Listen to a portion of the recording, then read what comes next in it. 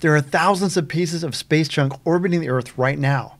How can we make space safer? Find out in today's episode. Three, two, one. Welcome to Your Space Journey, where we venture into the future of space exploration. Your journey begins now.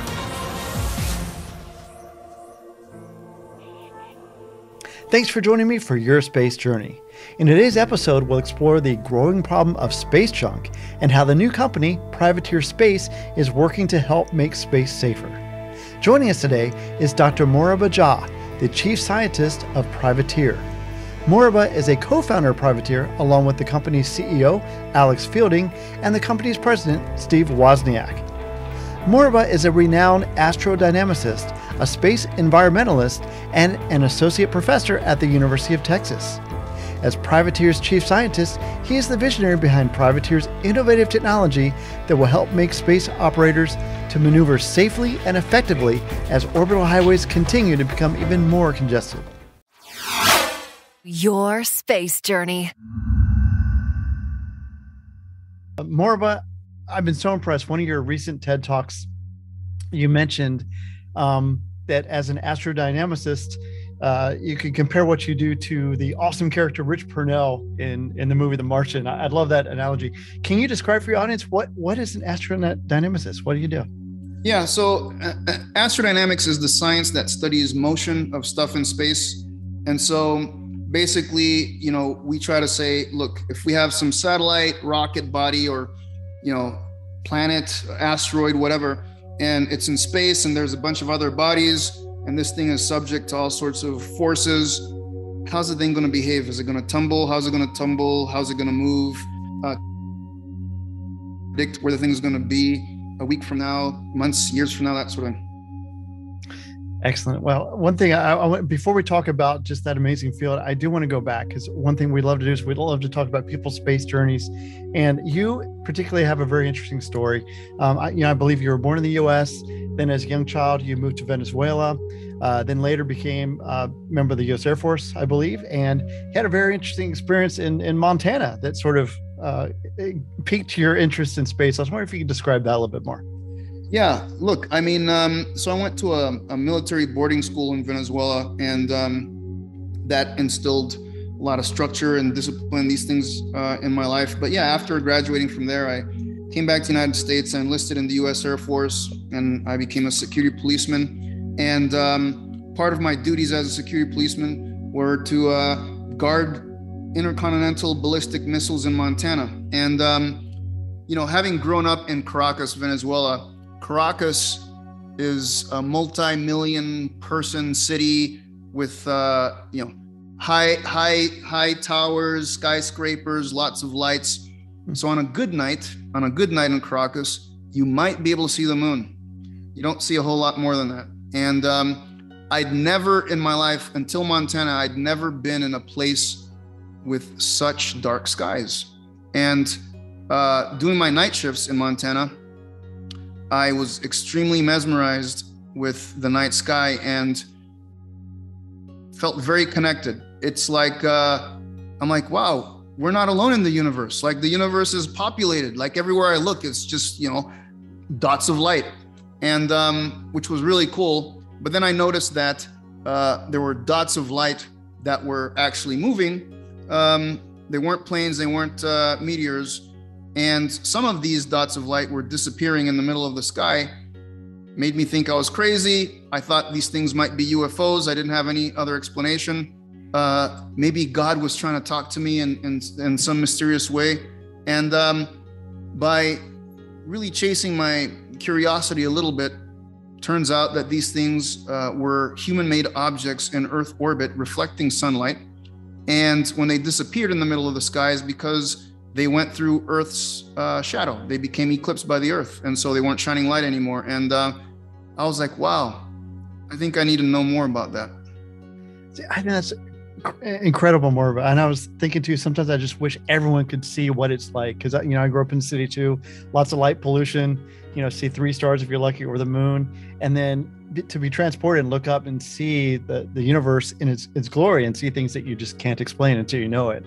it it's something amazing is that what sort of led you into uh, uh, again another wonderful thing that you do is space environmentalist yeah so the the idea of, of space environmentalism for me uh, came out of you know the, the work that I did on Maui. So I worked for NASA's Jet Propulsion Lab out of uh, graduate school. So from like 1999 to like 2006 is when I worked for JPL. But then, uh, yeah, went to Maui in 2006 to work for the Air Force Research Laboratory.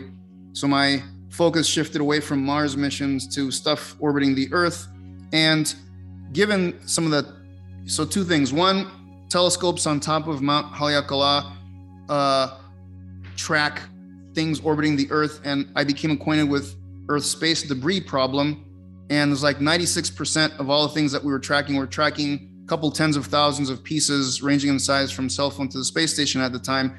Um, 96% of that was garbage, like you know, uh, pieces of broken uh, satellites, rocket bodies, and these sorts of things. And that juxtaposed with uh, how on Maui you have Native Hawaiians that embrace uh, stewardship and interconnectedness, and you have colonialism, which went more towards ownership of things and the detriment of that mentality and how Maui maximizes single use plastics and has landfills.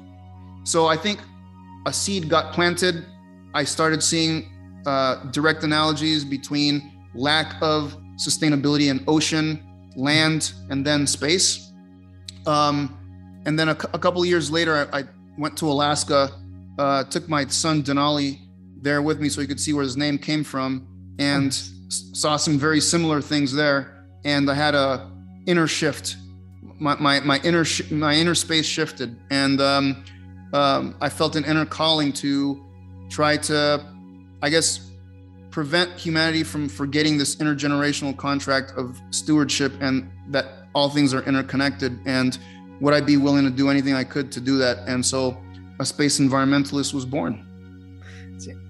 I, I, I truly I, I love that. I think it's so neat. And it's one of those subjects that unfortunately i think we put our blinders on a lot. You know we think of you know space debris space junk. I mean you mentioned i mean there's what like 27,000 plus pieces that you're tracking. You said size of the cell phone and up. But if you take that down to, I, I believe, you know, like a fleck of paint down to one mil- millimeter, don't you get like how many millions is that? Yeah, exactly. So the thing is, because we don't measure these things directly, there's uh, kind of wide hypotheses, but for sure, I, I think the small, the smallest number uh, hypothesized is, is over a million. And um, the thing is, these things can be traveling up to like 15 uh, times the speed of a bullet.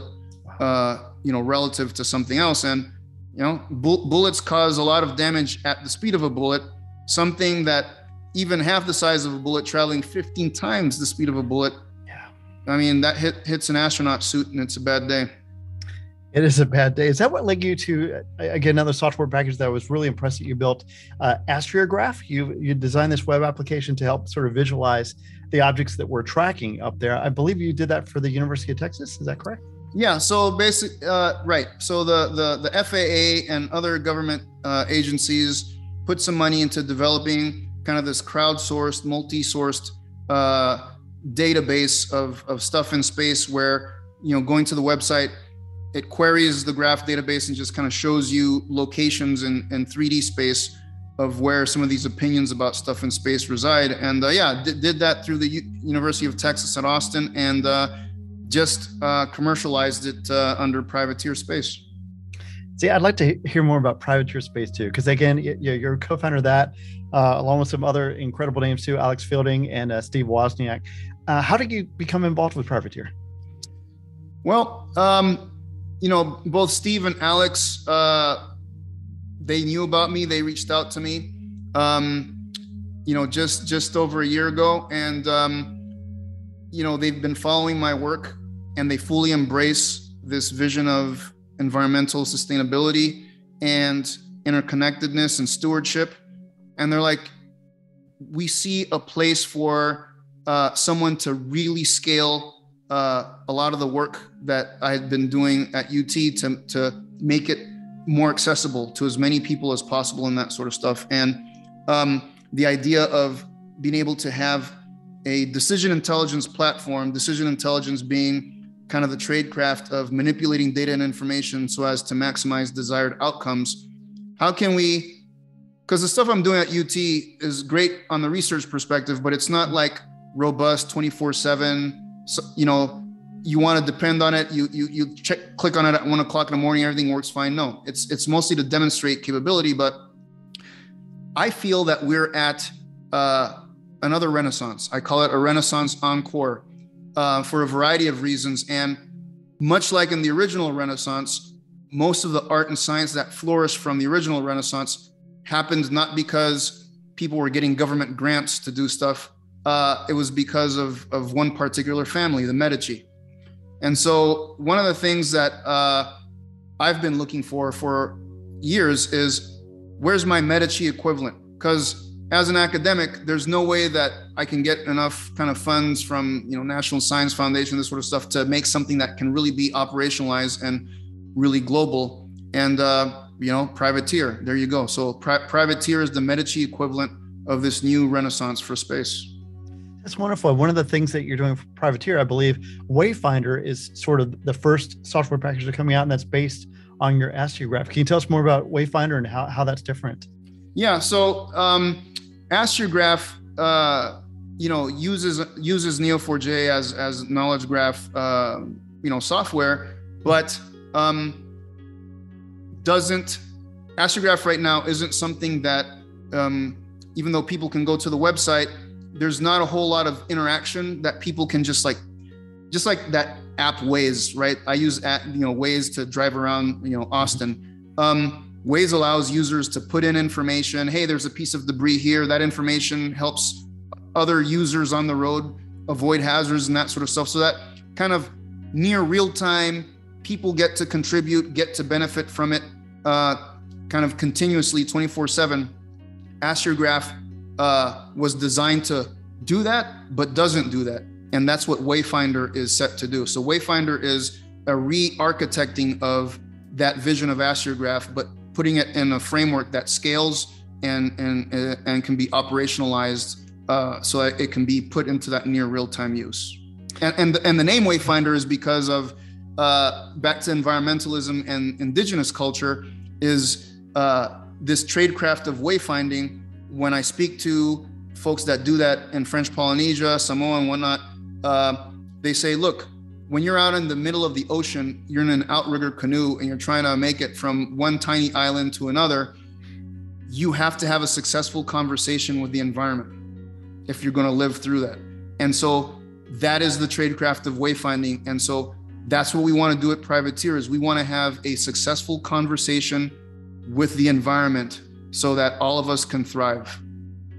Oh, more I think that's incredible. Uh, one thing too, I, I just kind of want to ask, sort of the future. So uh, obviously, tracking all the space junk, space debris is so important. Um, what are your thoughts on how do we clean it up just as a society going forward? What are your thoughts on that? Look, um, the first thing that we need to do is so there's definitely right now there's objects that we know that should be removed, and um, these are like derelict rocket bodies that are pretty much ticking time bombs. There's a couple right. thousand of them. Um, we've seen one Chinese rocket body re-enter, and the world was kind of spun up on that. Where's this thing going to land? And uh, you know, it landed in the ocean, so um, it's still unfortunate, but at least it didn't land over a populated area. Yeah. There's a couple thousand rocket bodies up there that are ticking time bombs and dangerous, and uh, they're owned mostly by Russia, the U.S., and China in that order of number numbers. It's not.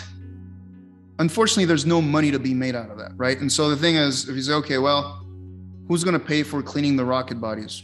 There's no political will per se to like anybody who runs in politics on a platform of on day one in the White House, I'm going to remove five rocket bodies. That right. sorry, you know. Yeah, no way. exactly. So, so I think that in order for the debris to be cleaned, it needs to be something where people can make money from it, or something that you can really trace to no kidding environmental impact. Basically, show that you know be able to quantify the detriment of this stuff up there in ways that that that are inarguable. And I think that to do that, we need to develop sustainability metrics like a carbon footprint analog in space that I call like a space traffic footprint. Hmm. Um, um, loosely understood as, as the burden that any given object poses on the safety and sustainability of anything else. And even uh, orbital carrying capacity, given that we put satellites in very particular orbital highways, to then say, okay, the orbital carrying capacity is saturated when our decisions and actions can no longer prevent some percentage of undesirable outcomes per month or per week or whatever. And I think having those two things, then it's easy to say, okay, we've we've measured the, the, the the aggregate space traffic footprint in this orbital highway and its capacity. The capacity is saturated, and the capacity is being consumed by these objects, and these objects are owned by these countries. And if any other country wants to use that orbital space, well, it can't because it's occupied. And so that country could probably then go to the ones that uh, own dead pieces of junk that are taking up capacity for no reason and say, we need to figure out a way to clean this because I should be able to have free, peaceful, and unhindered use of outer space for my own country's needs. And your junk is taking it up. That's not cool totally agree with that. One thing that, that you said this kind of blew me away too is uh, just thinking about this. You know, you have the FAA who who will, you know, can license rockets for the U.S. whether you can take off and, and where and when, but that's only the U.S. And once you get to orbit, it's pretty much there's no rules. There's nothing. How would you like to see that changed? Yeah. So uh, right now we have international space law is codified in these treaties and conventions, but they're very widely interpreted and implemented. Um, I think the first thing that we need to do is I tell people you can't enforce what you don't manage, can't manage what you don't know, and you can't know what you don't measure. So it all boils down to measurements. And I think, which is the whole impetus behind Astrograph and now Wayfinder, is can we assemble the largest compendium of knowledge about stuff in space such that we can have a wide variety of inquiry draw conclusions from from this measurable set to get some knowledge about how are people actually implementing uh, or complying with different treaties rules and regulations? And based on that evidence then we can have a conversation of oh yeah so the way that you're interpreting this actually isn't meeting the intent. The intent was blank. How can we work together to change that behavior such that we do have space you know for for our children's children and so on and so forth? I think that's the that's the order of operations that we need to go through oh that'd be incredible. Uh, if i may just one more question. What's next for you in privateer? So we just came out of stealth mode. As you see we've seen seen the website and wayfinder and that sort of stuff. Mm-hmm. um at the end of the day, here's here's here's what I want, right? I mean, I want to be able I want to be able to use space as humanity's mirror so that we can understand how interconnected things are and the importance of stewardship. So so kind of everything underlying what privateer does is there's that spirit of interconnectedness, the stewardship, and um, trying to basically, you know, when you raise the tide, all ships kind of go up, sort of thing. And we want to be useful to people. We want to do things in a way that increases human connection across the globe. We want to do things that motivate and improve peace and prosperity as well. Connection, peace, and prosperity. We want to be able to measurably improve these things using our decision intelligence platform and recognizing that we at Privateer, we don't have the answer to this stuff. It takes a community. We want to provide a mechanism that uh, incentivizes collaboration and partnership, and together we can sort some stuff out. And along along the way, we'll make some money at it, and that's okay uh, those things can coexist. Doing good things and making money, those can coexist. So um, I think within the next six to 12 months, you'll see more evidence of that spirit come out. Um, yeah. Oh, that'll be fantastic. Well, Moriba, again, I want to thank you so much for this. We just wish you and Privateer the best. I just want to thank you so much for taking time to join me. Really appreciate it. Thank you so much, brother. Your space journey. Well, I really enjoyed my conversation with Moriba today, and I'm really excited about the future of privateer space. Space junk has been a growing problem for years, and I'm so happy that companies like Privateer are stepping up to actually do something about it. If you'd like to learn more, please check out their website at privateer.com. I want to thank Moriba for joining us today. I want to thank you for joining us as well. Again, we'd appreciate it if you're watching on YouTube, give us a thumbs up or a like on your favorite podcast application. We'd also appreciate it if you'd share this episode with a friend. Thank you so much for joining us today. We'll see you next time. God bless.